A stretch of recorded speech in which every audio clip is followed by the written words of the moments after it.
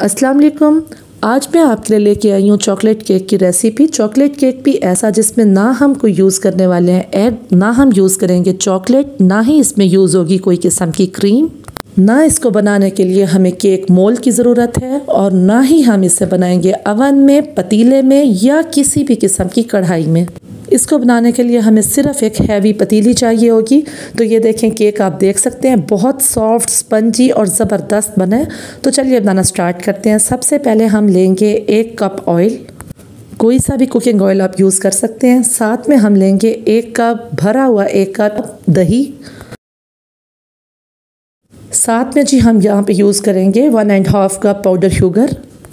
चीनी को हमने ग्राइंडर में ग्राइंड कर लेना तो बस पाउडर शुगर तैयार हो जाएगी। तो इसको हम अच्छी तरह से मिक्स कर लेंगे और अब हम इसमें डालेंगे हमारा मैदा आल पर्पस फ्लोर तो आल पर्पस फ्लोर में यहाँ पर ले रही हूँ दो कप इसको मैंने पहले से स्ट्रेन करके रखा हुआ है। अगर आपके पास स्ट्रेन शुदा नहीं है तो आप इसको स्ट्रेन करके इसमें ऐड करें। साथ में जी दो चम्मच मैं डालूँगी इसमें बेकिंग पाउडर दो खाने के चम्मच हमने इसमें बेकिंग पाउडर ऐड कर देना है।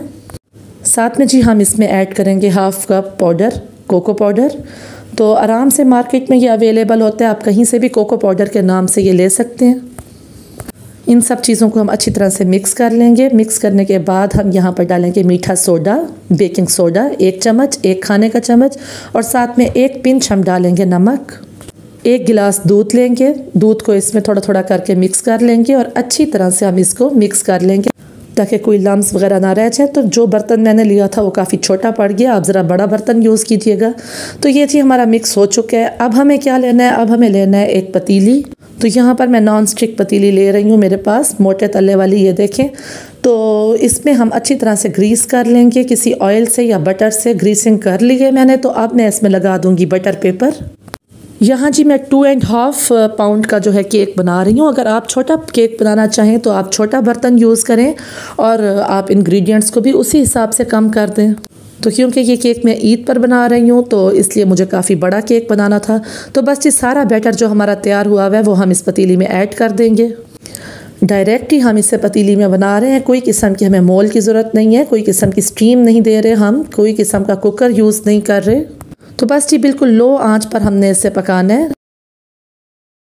तो अब जी, हम देखते हैं, हमारा केक हो चुका है तैयार। इसके अंदर टूथपिक या एक जो कांटा होता है, वो डाल के देखेंगे। ये देखें, बिल्कुल भी चिकनाई नहीं है, तैयार हो चुका है।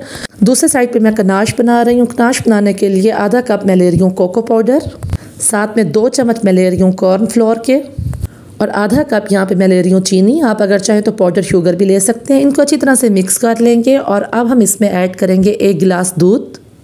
तो जी, साथ में हम मुसलसल इसमें चम्मच हिलाते रहेंगे ताकि लम्स वगैरह ना बने और इसको हम मीडियम लो फ्लेम पर पका लेंगे। तो ये जी अब हमने देखना है कि हमें कितना गाढ़ा इसको रखना है। अगर आप केक के ऊपर, जो है, कोटिंग करना चाहते हैं तो आप इसे ज़्यादा गाढ़ा रखें, लेकिन मैं इसको पोरिंग करूँगी केक के अंदर लावा स्टाइल में तो इसलिए मुझे थोड़ा पतला रखना है। ये यहाँ पे गाढ़ा हो गया तो मैं इसमें दूध डाल के इसको पतला कर लूँगी, कोई इशू नहीं है, दूध डाल के इसे पतला भी किया जा सकता है। तो जी कनाज को हमने ठंडा करने के लिए रख दिया, और दूसरे साइड पे हम डालेंगे नीम गर्म पानी में एक चम्मच चीनी, और एक चम्मच मैं इसमें डालूँगी कॉफ़ी पाउडर तो ये मैं सीरम तैयार कर रही हूँ। इसको अच्छी तरह से मिक्स कर लेंगे। एक चम्मच कॉफ़ी पाउडर, एक चम्मच चीनी डाल के नीम गर्म पानी में इसको अच्छी तरह से हमने मिक्स कर लिया। तो यहाँ जी हमारा केक मुकम्मल तौर पर ठंडा हो चुका है। तो केक को मैंने निकाल लिया, डिश आउट कर लिया। तो ऊपर से जो बटर पेपर है वो मैं उतार लूँगी, इसका रिमूव कर लूँगी। केक हमारा ठंडा हो चुका है। तो इस तरह से जी हमने अपने बटर पेपर को ऊपर से रिमूव कर लेना है। और अब हमने किसी कांटे या टूथपिक की मदद से इसमें इस तरह से सुराख कर देने हैं।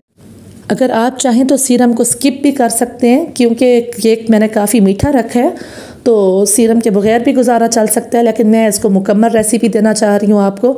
तो इस तरह से जी हमने अपना सिरप इसमें डाल देना है। एक दो मिनट ठहरने के बाद अब बारी आती है हमारे ऊपर लावा कोटिंग की।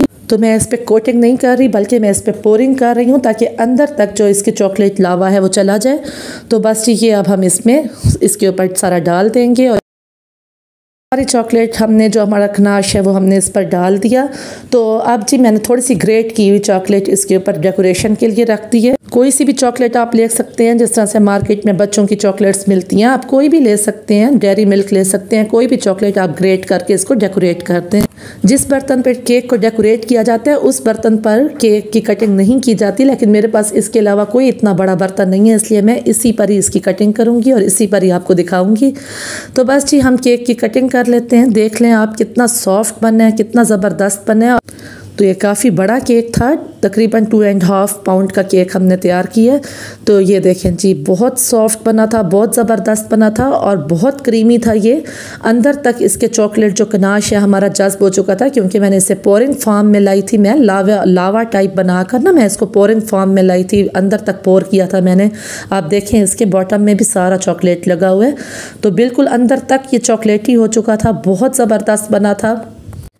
तो इसको खाने के बाद, इसकी कटिंग करने के बाद आप देख सकते होंगे, आपको यकीन भी नहीं आएगा कि ये बग़ैर अवन के बने बिना इस, ये कुकर के बने बिना स्टीम के बने किसी भी हद तक इसके अंदर हमने किसी किस्म का मोल भी यूज़ नहीं किया। कोई क्रीम कोई चॉकलेट इसके लिए हमने यूज़ नहीं की। और देख ले, इन सब चीज़ों के बिना भी ये केक कितना ज़बरदस्त बना लग रहा है ना बिल्कुल बेकरी स्टाइल का। ये देखें जी तो आप इसे ज़रूर बनाइएगा। बच्चों बड़ों सबको बहुत पसंद आने वाला है। मिलते हैं जी नेक्स्ट वीडियो में, तब तक अल्लाह हाफिज़।